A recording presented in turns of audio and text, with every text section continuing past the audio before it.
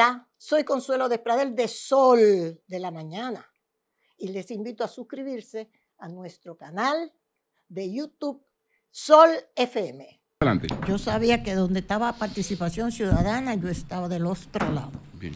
Qué análisis tan enjundioso y bueno, ¿eh? Pero profundo. también Valeria, una estrella. Una estrella ese análisis que yo acabo de hacer desde ayer. Bueno, señores, miren, Análisis. ese análisis, ese análisis tan enjundioso. Participación ciudadana está de este lado, pues yo estoy del otro. Más nada. Mire, eh, déjenme decirles lo siguiente. Ustedes saben que se comenzó el cese al fuego entre Israel y el Líbano, pero no el Líbano, sino Hezbollah.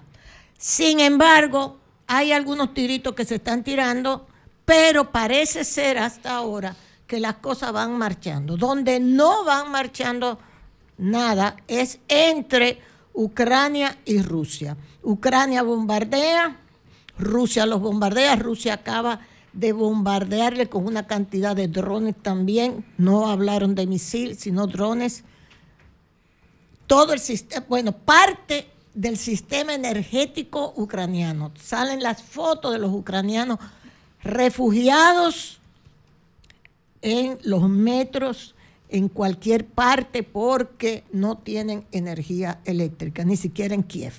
Entonces la situación sigue allá muy difícil, pero es bueno que sepan que Trump ya definió quiénes van a tratar el caso de Ucrania y va a, ya nombró, ya nombró dos personas que van a tratar de hacer la paz entre Ucrania y Rusia. Estas personas son Michael Walsh, dice Michael Walsh, un representante republicano. Lo que tenemos que debatir es quién está en esa mesa.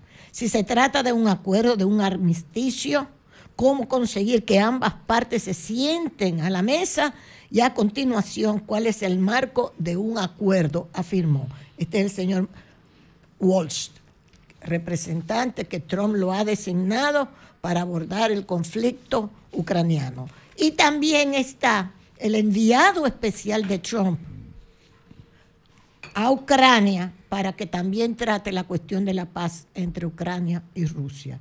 Este es el señor Kit Kellogg, invitado especial para Ucrania y Rusia y uno de los asistentes presidenciales que aboga America First, pero aboga por las negociaciones entre Rusia y Ucrania. De estos son pasos que está dando el presidente Trump y de buena a primera, para acaba de aparecer Siria. Siria acaba de aparecer con un grupo de rebeldes, un grupo de rebeldes, los famosos ISIS, una versión de Al Qaeda. Yo busqué todo esto, Al Qaeda, ISIS, etcétera, atacando a parte de Siria, o sea, poblaciones en Siria ayer. Y tú te dices, y ahora Siria vuelve se está hablando de la paz y ahora Siria vuelve de repente a hacer la mayor ofensiva, dice el New York Times. Grupos rebeldes sirios lanzan la mayor ofensiva en años. Señores, esto fue ayer. Decenas de personas murieron después de que fuerzas opuestas al gobierno del presidente Bashar al-Assad tomaron una base militar siria, informó un grupo de monitoreo. Y ahí está la descripción de lo que está sucediendo ahora mismo en Siria. Se habla de la paz por un lado y entonces aparece de nuevo Siria, que acababa de tener una guerra civil terrible. Pero lo que sucede y viene a ser, y yo les tengo solamente esto como un poco histórico, ¿quiénes son los ISIS? ¿Quiénes son los Al-Qaeda? Acuérdense de Al-Qaeda, Bin Laden, etcétera, las torres, ¿verdad? que ellos mismos dicen, y lo dijo también, lo decían también en esa época, que, al, que Bin Laden había sido entrenado por la CIA, por ejemplo, Le Monde Diplomatique escribió en junio del 2011 lo siguiente, Bin Laden no siempre fue un adversario de Estados Unidos. en los años 1980, formado por la CIA, participó en la Primera Guerra de Afganistán contra la Unión Soviética y los estadounidenses lo consideraban entonces un héroe combatiente de la libertad. O sea que Bin Laden es una creación de la CIA para la guerra de Afganistán. Después fue acusado de que tumbó las torres gemelas.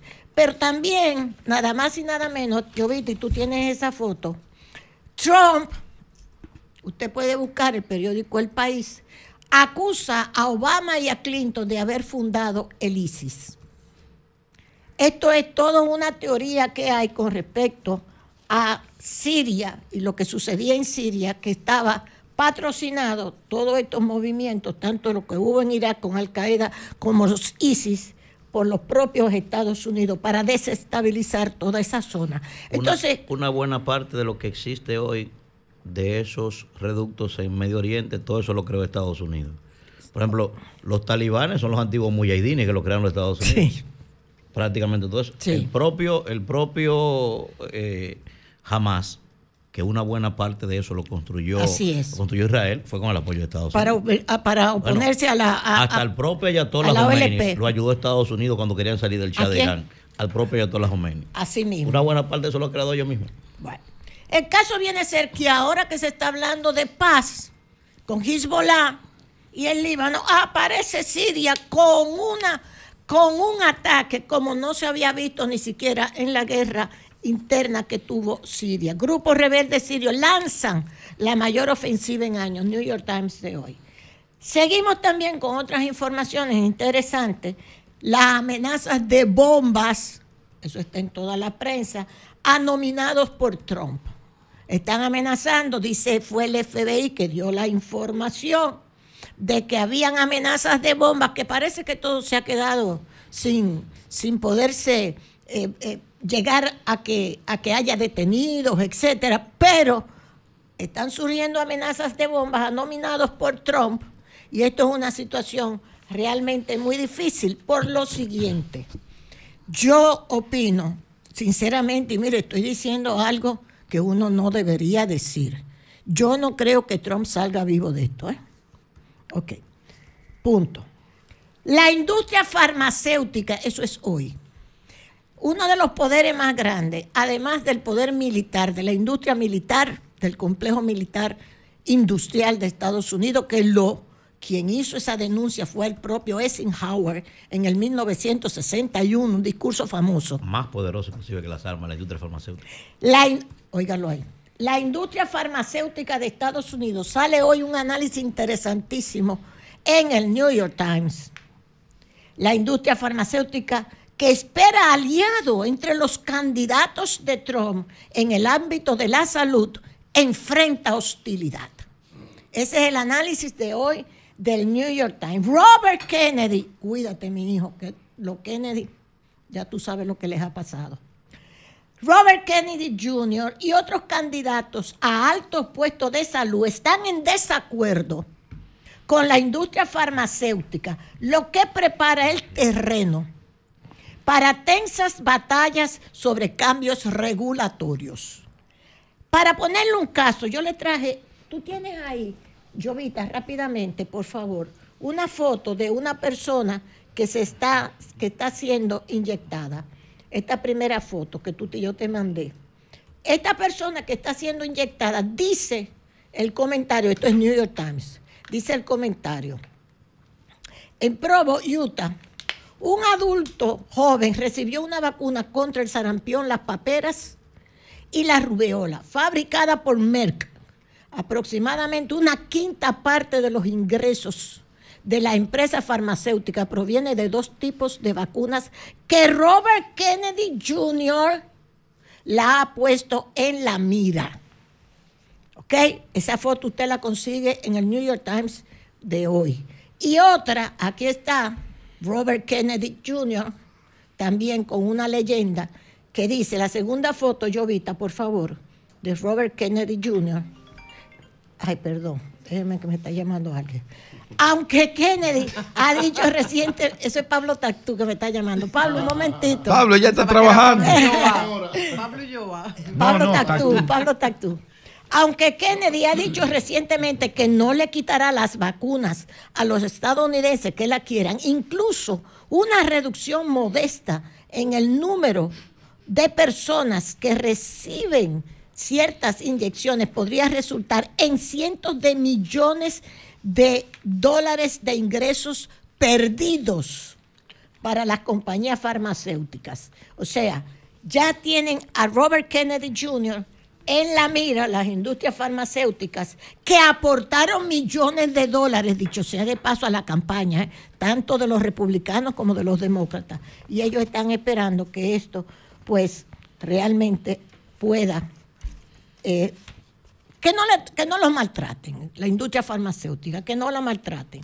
Así que nosotros estamos en una situación, dice Barbecue, Jimmy Cherisier, son unos cobardes.